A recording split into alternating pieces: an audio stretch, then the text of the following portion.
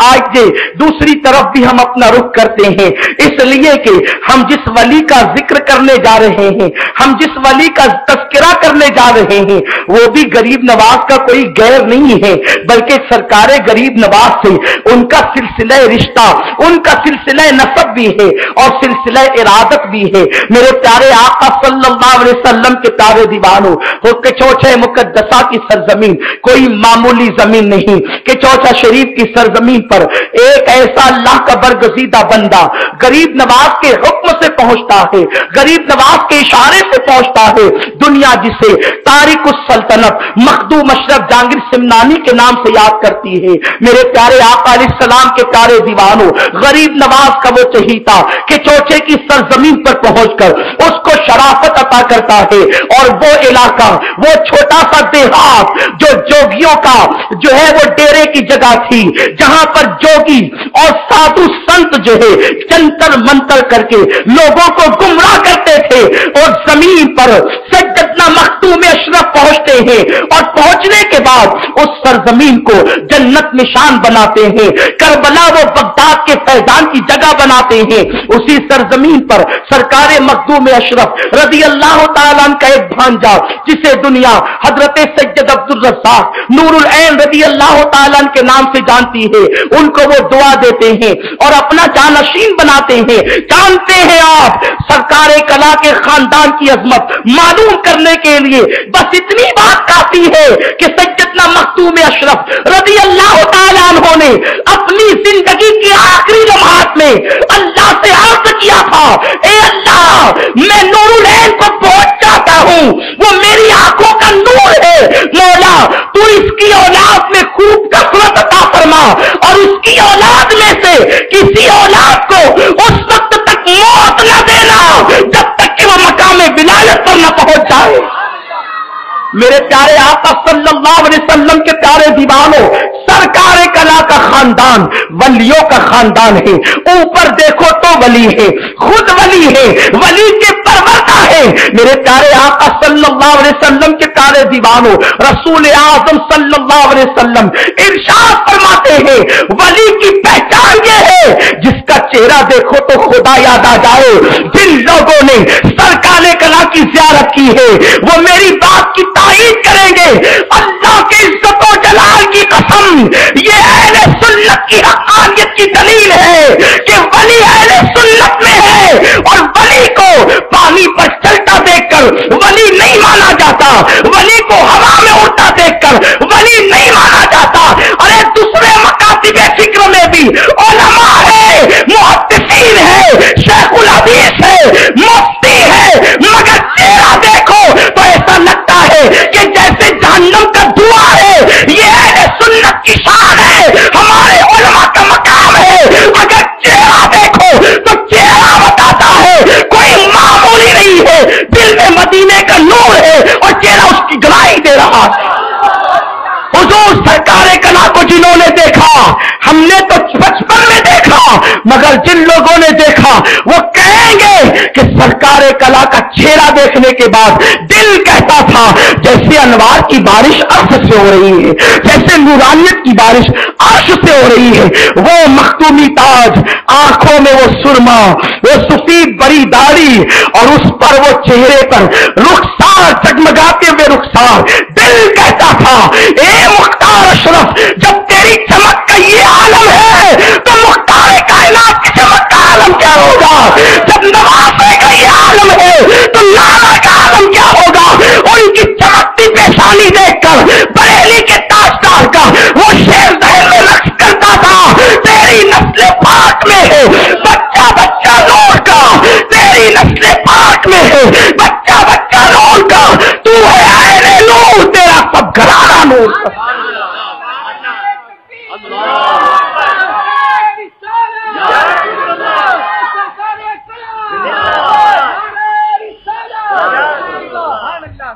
मेरे प्यारे आपका सल्लल्लाहु अलैहि वसल्लम के प्यारे दीवानों, माजी करीब का वो वली हमें अपने जलवों से मुनव्वर कर गया और आज भी उनके जलवे शहर मालेगांव में भी जो है वो अपनी ताबानियों को बिखेर रहे हैं और इन सुबह कयामत तक इसकी बरकतों को हम महसूस करते रहेंगे। हम अपने इन हाथों पर नाजा हैं। मगर नाजा इसलिए नहीं, ये हमारे हाथ है। हम अपने हाथों पर इसलिए नाजा है कि इन हाथों ने बचपन की उम्र में सरकार कला के पैर दबाने का शरफ हासिल किया है। हम इसे अपने लिए निजात का ज़रिया समझते हैं। हम इसके लिए तस्वुर, इसके लिए हम तस्वुर निजात समझते हैं। इसके लिए निजात का तस्वुर करते हैं। मेरे प्यारे आकाल सलाम के प्यारे दीवानों, मेरी खुशबख्ती यह है कि एक ऐसे शख्स के साथ बारगाह सरकार कला में मेरी हाजिरी हुई। जो इंतहाई कम नसीब था, मगर उसका एहसान ये है कि उसने मुझे बारगाह सरकार कला तक वहाँ तक पहुँचाया कि मैं उनके कदमों को डापने का शरफ मैंने हासिल किया। मेरे प्यारे आका, सल्लल्लाहु अलैहि वसल्लम के प्यारे दीवानों, सरकार कला क्या थे? सरकार कला का अंदाज क्या था? अभी चार साल की उम्र थी। वो पोते थे। शेखुल मशाइक आला हज़रत अली हुसैन अशरफी मियाँ रहमतुल्लाह के, वो बेटे थे। सुल्तानुल मुनाजरीन हज़रत सैयद अहमद अशरफ अशरफीउल जिलानी, उनके साहबजादे और सरकार आला हज़रत अली हुसैन अशरफी मियाँ रहमतुल्लाह के पोते, आप अंदाज़ा करें जिसके वालिद सैयद अहमद अशरफ जैसा वली हो और जिसके दादा हज़रत शेखुल मशाइक अली हुसैन अशरफी मियाँ जैसा वली हो, वो अली हुसैन अशरफी मियाँ के जिसके बारे में हाफिज मिल्लत अली रहमा फरमाते हैं। हुजूर हाफिज मिल्लत रहमतुल्लाह कहते थे कि गौसे पाक को, जिन लोगों ने ख्वाब में देखा, जब उनसे पूछा गया कि गौस पाक कैसे थे तो लोगों ने बताया, अली हुसैन अशरफी जैसे थे। मेरे तारे आका सलाम के तारे दीवानों, जिसका दादा, अल्लाह अकबर जो है वो, हम शबी गौ से आज़म हो गौ से पाक हम शबी हो, कुर्बान जाए। जिसकी विलायत का आलम भी हो, अल्लाह अकबर। आप जानते हैं, जो कि छोछा में बैठकर आसमानों पर जाने वाली रूहों का मुशाहिदा करता हो, ये सरकार कला के दादा थे। जानते हैं आप, हज़रत सैदना सैयद मोहम्मद की छोचवी मुहदस आजमीन रहमतुल्लाह फरमाते हैं कि मेरे नाना हज़रत सैयदना अली हुसैन अशरफी मियाँ रहमतुल्लाह ताला एक मरतबा वज़ू कर रहे थे। वज़ू की तारीख 25 सफ़र थी। दिन जुमा का था और आप वज़ू कर रहे थे। वज़ू करते करते अचानक आँखों में आँसू आ गए। वज़ू करते करते आँख में आँसू छलक पड़े। मैं तवज्जे चाहता हूँ आपकी। आप गौर फरमाए, पहले दादा को जान ले इसलिए कि जो नख्ल को जान लेता है, फिर उसके बाद वो फूल को आसानी से समझ सकता है। मेरे प्यारे आका सलाम के प्यारे दीवानों, गुल को जानने के लिए नख्ल की मार्फत, यानी डाल की मार्फत ज़रूरी है। मेरे प्यारे आका सलाम के दीवानों, हुजूर मुहदस आजमीन, अली हुसैन अशरफी मियाँ के नवासे हैं। वो फरमाते, मेरे नाना जुमा के दिन वज़ू कर रहे थे, और वो दिन 25 सफ़र का दिन था। वज़ू करते हुए उनकी आँखों में आँसू आ गए। चूँकि के चौथा शरीफ की सरजमीन जो है, वो जंगलों, बियाबान की ज़मीन है। हमने अपने नाना को रोते हुए देखा क्योंकि मुहदस आजमहीन के चौचवी आला हज़रत इमाम अहमद रजा के खलीफा भी थे, और शागिर्द भी थे, और सरकार कला के वालिद भी, आला हज़रत के खलीफा और शागिर्द थे। सैयद अहमद अशरफ के चौचवी रहमत बहरहाल मुहदस आज़म फरमाते हैं कि मेरे नाना रोने लगे, रोते हुए मैं करीब गया और कहा, हज़रत साहब, ये बताएँ कि कहीं किसी बिच्छू ने तो नहीं काट दिया, जानवर ने अजियत तो नहीं पहुँचा दी। रोने की वजह क्या है? हुजूर मुहदस आज़म फरमाते हैं, जब मैंने पूछा, अचानक बेसबब रोने की वजह क्या है? तो उस वक्त हुजूर ने फरमाया, हज़रत अली हुसैन अशरफी मियाँ अली रामा ने फरमाया, साहबजादे, जब वज़ू करते हुए मेरी निगाह आसमान पर उठी तो मैंने देखा, उतबुल इरशाद। उतबुल इरशाद! इमाम अहमद रजा का जनाजा फरिश्ते आसमानों पर ले जा रहे हैं। बरेली शरीफ में आला हज़रत का विशाल हुआ इमाम अहमद रजा का। और केचौटा शरीफ में शेखुल मशाइक खबर दे रहे हैं कि शेख कुतुबुल इरशाद का जनाजा फरिश्ते को लेता लिए जाता हुआ देखता हूँ। इसीलिए रो रहा हूँ कि हमारी कौम का वो मुजद्दिद दुनिया से चला गया। अभी कोई खत नहीं आया, कोई तार नहीं आया। टेलीफोन इतना तेज रफ्तार उस जमाने में मोबाइल वगैरह का सिस्टम नहीं था, मगर कुर्बान जाएँ, शेखुल मशाइक खबर देते हैं, इमाम अहमद रजा दुनिया से तशरीफ़ ले गए, जिसका दादा ज़मीन पर बैठकर आसमानों पर जाने वाली रूहों को और फरिश्तों को देखता हो, उसके पोते की शान का अंदाज़ा कौन लगा सकता है? और फिर पोता भी कैसा? चार साल की उम्र है, ये अर्ज़ कर रहा था, चार साल की उम्र है, दादे ने अपने पोते को गोद में लिया और चूमने लगा। अरे जो जो चौरासी साल का, अस्सी साल का, सत्तर साल का बुढ़ापे में सरकार कला, इतना हसीन मालूम होता था, उसका बचपने में हुस्न का आलम क्या होगा? अरे काले बच्चे, और ज़्यादा खूबसूरत जो बच्चे नहीं होते, वो बचपने में भी खूबसूरत नज़र आते हैं। तो जिसके बुढ़ापे में हुस्न का ही आलम था कि जवानों का हुस्न मान पर जाए, जिसके बुढ़ापे के हुस्न के आगे बचपने में उसका हुस्न कैसा रहा होगा? हुस्न का आलम क्या रहा होगा? तो चार साल अपने पोते को दादे ने गोद में लिया और पेशानी को चूमा और चूमने के बाद पूछा शहजादे, मांगो क्या मांगते हो? क्योंकि दादा जो था वो बहुत सा माल भी रखने वाला था, दादा जो था, विलायत का ताजदार भी था और जाहिरी दुनियावी माल से ज़्यादा घर के अंदर गौस पाक का फैजान था। चूँकि वो घराना, गौसे पाक का घराना था।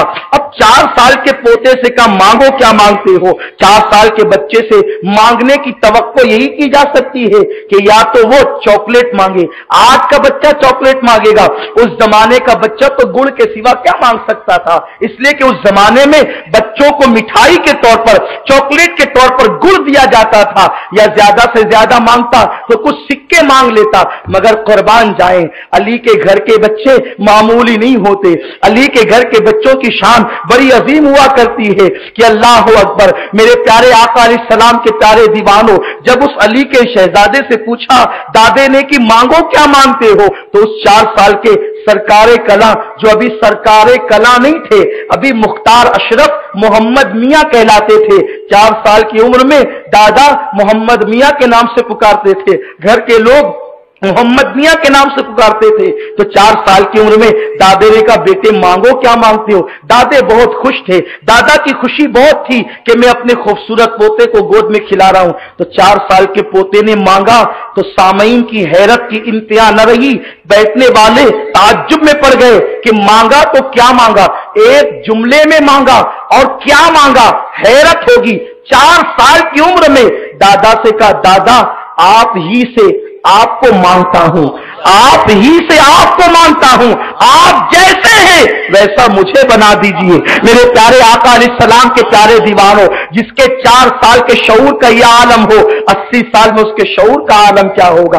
सरकार कलाम, रहमतुल्लाह ताले की शान ये है। मेरे प्यारे आका सलाम के प्यारे दीवानों, वो इतने अच्छे थे, अल्लाह अकबर के जो अपने छोटों को बेपना नवाजने वाले, बड़ों पर बड़ों की ताजीम करने वाले, छोटों पर शफकत करने वाले एक मरतबा, उनका खिताब सुनने का शरफ हासिल हुआ। मेरे प्यारे आका सलाम के प्यारे दीवानों, मेरी आदत थी बचपने ही में कि मैं जो है अपने बड़ों का खिताब सुनने का और उसके बाद उनकी नकल करने का बड़ा शौकीन था। हजूर सरकार कला की जबान में हल्की सी लुकनत थी, जो उनकी गुफ्तगु को बहुत खूबसूरत बना दिया करती थी। और जब वो गुफ्तगु करते तो बहुत चीख चिल्ला कर नहीं करते, बल्कि उनकी गुफ्तगु इंतहाई आसान, इंतहाई सादा और इंतहाई ठहर ठहर कर होती है। बहरहाल, बुज़ुर्गों का अपना एक अंदाज होता है, मेरे प्यारे आका सलाम के प्यारे दीवानों, गालिबन गुजरात की सरजमीन थी और किसी मदरसे का जलसा था, और इत्तेफाक से मैं भी वहाँ पहुँचा हुआ था। काफले में, सुन्नी दावत इस्लामी के काफले में, मुझसे कहा गया, हजूर सरकार कला रहमा तशरीफ़ लाए हैं, हज़रत का खिताब होगा। मैंने कहा, कितनी सआदत होगी, हम सब चले, हम सब लोग पहुँचे। और चूँकि हजूर सरकार कला रहमत सुन्नी दावत इस्लामी को नवाजते भी थे, आपने अपनी ज़िंदगी में दो मरतबा, सुन्नी दावत इस्लामी के आलमी इज्तम, वादी नूर आज़ाद मैदान तशरीफ़ लाए। और आपके जुमले ये थे, उस जमाने में मुखालफतें इतनी थी सुन्नी दावत इस्लामी की, अमीर सुन्नी दावत इस्लामी का खिताब हो रहा था, हजूर सरकार कलाए खिताब रोक दिया गया, आपको कुर्सी पर बिठाया गया।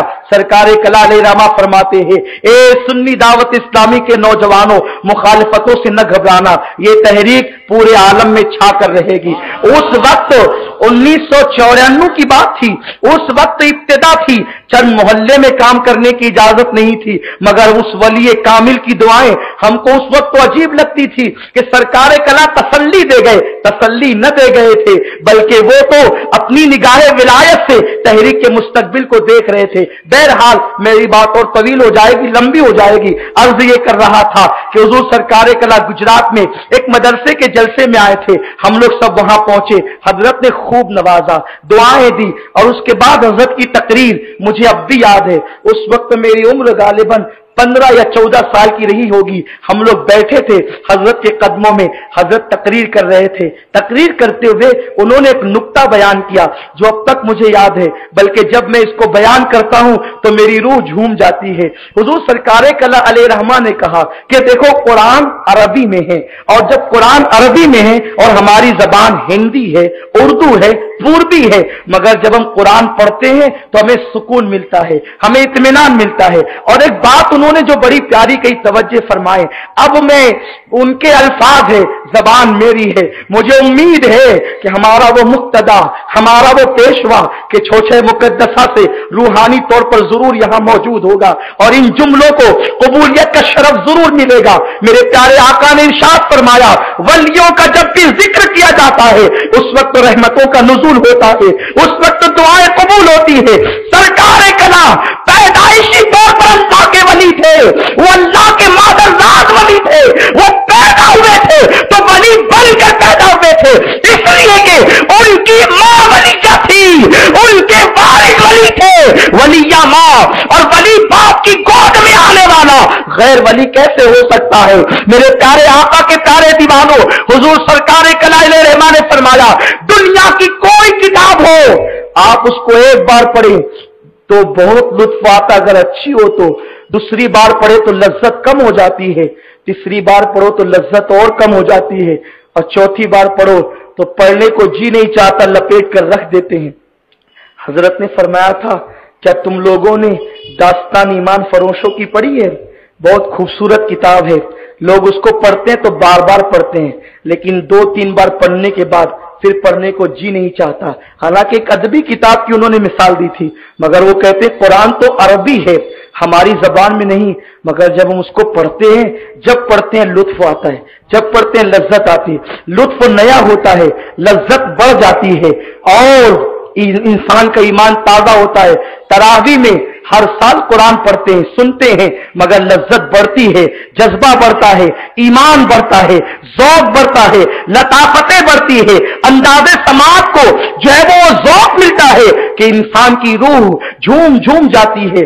हज़रत सरकार कला ने फरमाया था, ऐसा क्यों होता है कि अरबी में कुरान सुनकर तबीयत नहीं उगताती, कुरान को बार बार पढ़ने को जी चाहता है। तो आपने फरमाया था, मैं तुम्हें समझाऊं? कि वो ऐसा क्यों था? उन्होंने फरमाया कि मैं तुम्हें समझाऊं, ऐसा क्यों था?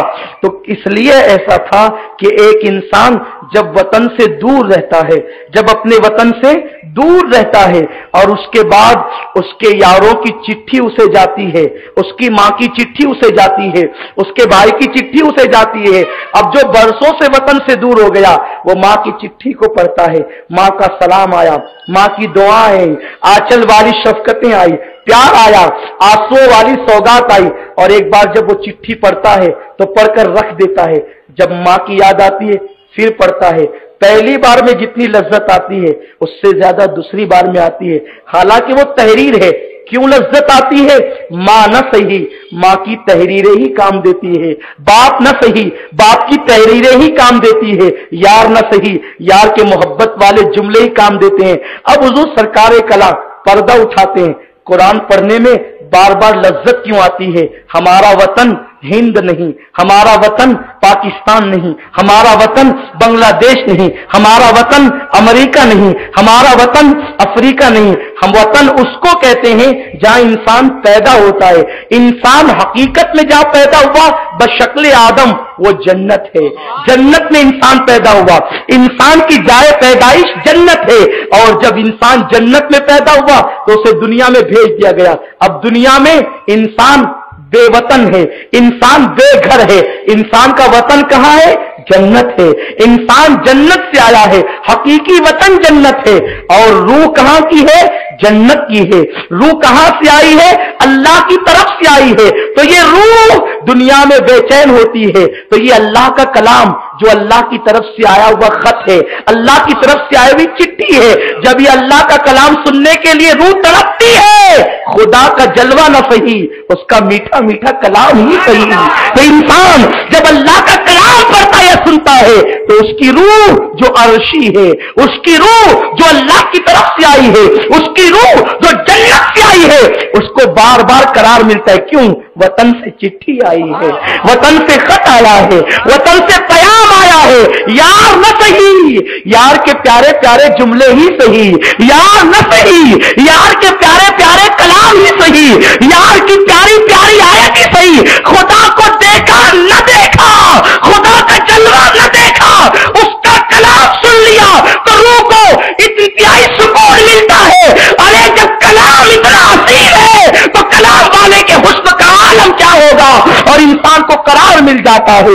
इसीलिए तो मौला अली फरमाते हैं, जब मैं चाहता हूँ कि अल्लाह से मैं कलाम करूँ, अल्लाह से मैं कलाम करूँ तो मैं नमाज़ पढ़ने लग जाता हूँ। और जब चाहता है कि अल्लाह मुझसे कलाम करे तो मैं कुरान पढ़ने लग जाता हूँ। ये सरकार कला थे। मेरे प्यारे आपा सलाम के प्यारे दीवानों, हुजूर सरकार कला इंतहाई सादा गुफ्तगु करके लोगों के दिल में बात को उतार देते थे। अब मैं आपसे कहता हूँ, मुझ जैसा कम इल्म, बेअमल और इंतहाई नालायक इंसान, बल्कि मैं तो अपने आप को जानवर से भी बदतर समझता हूँ, इस माना में कि जानवर तो अल्लाह की नाफरमानी नहीं करता और मैं अल्लाह की कभी कभी नाफरमानी कर लेता हूँ। तो आप मुझ जैसे गुनहगार से सरकार कला के जुमले इतने अच्छे लगते हैं। तो जब सरकार कला खुद बयान करते होंगे तो लोगों को कितना अच्छा लगता होगा। जिंदगियाँ कितनी बदल जाती होगी, जिंदगियाँ कितनी तब्दील हो जाती होगी। मेरे प्यारे आपा सल्लल्लाहु अलैहि वसल्लम के प्यारे दीवानों, एक मरतबा हजूर सरकार कला, रहमतुल्लाह ताला मुरादाबाद की सरजमीन पर पहुँचे। उन्नीस सौ छिहत्तर की बात है, मुरादाबाद की ज़मीन पर। मुरादाबाद की ज़मीन इंशाला फिर कभी। वो मालीना बना हमारे चैनल को सब्सक्राइब करें और बेल आइकॉन पर क्लिक करें ताकि आपको हर आने वाले वीडियोस के नोटिफिकेशन मिलते रहें।